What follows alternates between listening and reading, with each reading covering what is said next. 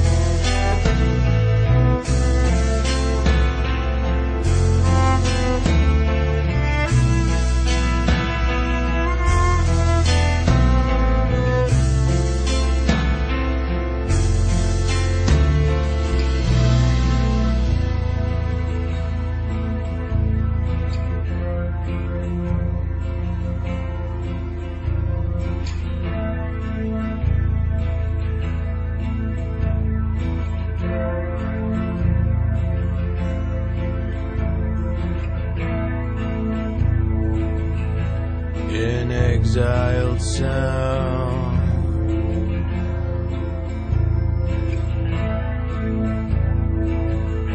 Washed in with the tide.